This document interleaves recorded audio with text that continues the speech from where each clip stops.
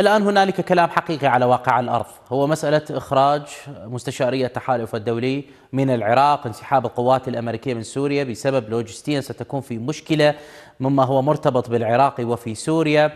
إن جرى هذا الأمر فعلا إذا ما أخذنا العراق على سبيل المثال كيف سيغير هذا من وضع المواجهة بشكل عام مع استمرار كل هذه الأنباء في غزة في لبنان مع جماعة الحوثي؟ كيف ستتعامل الولايات المتحدة عسكريا مع هذه المسألة؟ وهل تعتقد بأن هذا الأمر يصب بمصلحة الفصائل ضد الفصائل؟ ما تفسيرك لهذا الأمر؟ يعني هو السؤال الأول أحمد يعني هل العراق بحالة حرب ضد الولايات المتحدة الأمريكية؟ لا طبعا. هذا الكلام.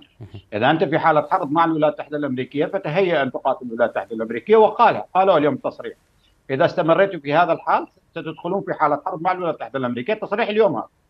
والتصريح بالأمس يقول نحن لا نغادر العراق والمسدس مصوب إلى رأسنا. تنتبه لي عيني أحمد النقطة هذه. نعم. يعني بعدين أكو عامل مهم جدا. يعني إحنا خلينا نكون واضحين يعني. يعني أكو شيء اسمه معايير القوه وقدرة وتوازن وفرق القوات. ما العراق تورط قبل مرتين ويا الولايات المتحدة الأمريكية وشو حصل من عندها؟ يعني شو هاي النتائج وشو حصل العراق من من يعني المزايدات السياسية والقوة وسنهزم أمريكا. شو حصلنا إحنا العراقيين؟ يعني نكون واضحين ونكون هناك عقلنا في استخدام في استخدام أدوات السياسة والعمليات السياسية وحتى مسألة استخدام القوة؟ بعدين إحنا يعني هذه التشكيلات هي تبع العهد العام القوات المسلحه يعني إذا هي خارج خارج الضوابط تستخدم القوة تحت مسمى أي مسمى آخر فمعناه نحن في ورطة في العراق. فعلا في ورطة يعني. يعني معناه إنك انك تضع نفسك امام أمام خيارات صعبة ربما يتخذها الطرف الآخر.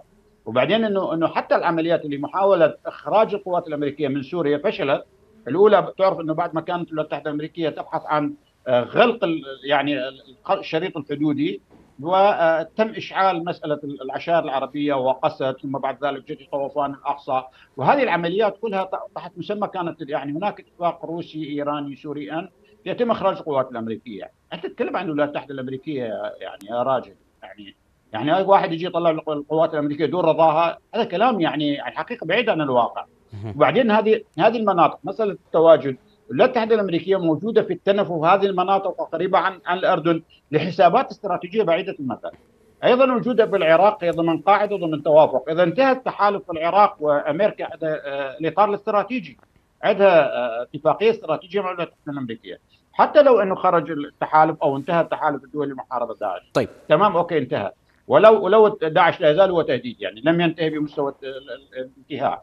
طيب حتى لو اتفقنا على ذلك ولكن هناك يعني الإطار الاستراتيجي هناك تحالف استراتيجي مع الولايات المتحدة الأمريكية طيب. والعراق لا تنسى أن الولايات المتحدة الأمريكية هي من هندست السياسة في العراق وهندست العملية السياسية وكل مخرجاتها المؤسساتية. وبالتالي كيف تفكر أنت؟ هلا إذا كنت أنت تفكر كعراق أن كنت تكون في حالة حرب مع الولايات المتحدة الأمريكية فتفضل هذا الملعب وخلي نشوف